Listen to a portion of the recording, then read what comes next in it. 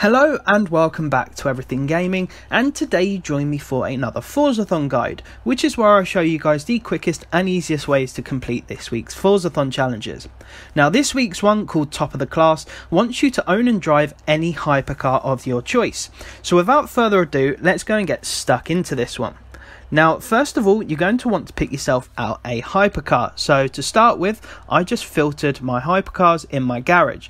Now, if you don't own any, you don't have to worry about it. You can always purchase one from the auction house or auto show. Um, the one I went for, though, was the Lamborghini Aventador LP700-4. I do have a tune for it. It's called S2, but unfortunately the share code wasn't working on it for some reason. Uh, but it is what it is.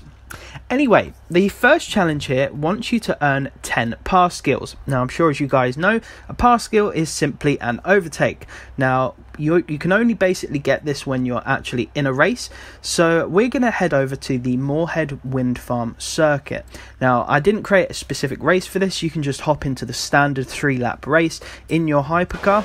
Uh, the reason being is because one lap might not be enough, it really depends. You can do this as well on whatever difficulty you want. Now, first of all, you're going to want to obviously overtake the first part of the pack that's in front of you and get about four or five pass skills. Now, what you can do from here is a couple of things. You can do as I'm doing, as you can see, and waiting for the rest of the pack to catch up and overtake me, and then I follow and, and catch up to them and overtake as many of mm, as I can until, of course, I hit the limit of 10 pass skills to complete the challenge. Now, if for instance you have five or six cars in front of you at the beginning of the race and you overtake them straight away, you can always restart the race and just do that over again. So both methods are really, really quick and really, really easy. And this challenge will be over and done within a couple of minutes because at the end of the day you are in a hypercar. So it's nice and quick and easy. Now, the next challenge here wants you to earn 9 stars from a speed zone. So, of course, if you know me, you'll know which speed zone I like to use.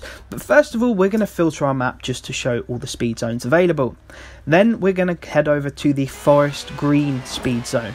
Now, the reason for this is because 3 stars on here is a maximum of 90 mile an hour, or a minimum, sorry, uh, and it's super, super easy to get as well. Like I said, because you're in a hypercar, you don't really need to tune it at all. You'll be able to nail this speed zone. So, if you go around it above 90 mile an hour, which you're bound to do, then you'll have got three stars. And then you have to just turn around, do it again, and turn around and do it one last time to get your nine stars. Now you can do it on whichever speed trap you want, you can do it on three different speed traps, but I just find this one is definitely the quickest and most definitely the easiest one, regardless of what car you're in. Now, the final challenge here wants you to win a race at the Lakehurst Forest Sprint. And as I'm sure you guys know, this is one where I have a blueprint race created for everyone. So if you head over to custom events, there is one I've created called Super Quick. Uh, this is one that I always use, and the share code for this is 20867282.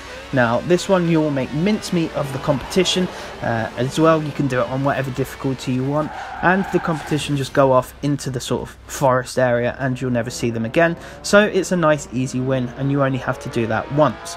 Now, if you don't have the race unlocked, it doesn't matter. You can still type in the blueprint code and it will still pop up and you'll be able to do it.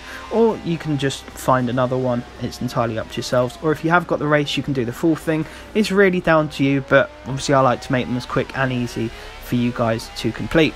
So that is this week's Forzathon. Hopefully this video did help you out. If you're having trouble with anything just let me know down below in the comments and I'll try and help you out as best as I can Hopefully this did help, and if it did and you're not subscribed, I would very much appreciate if you could subscribe to the channel and dropping a like helps me out as well. Apart from that folks, I want to wish you all the best, make sure you stay safe and take care.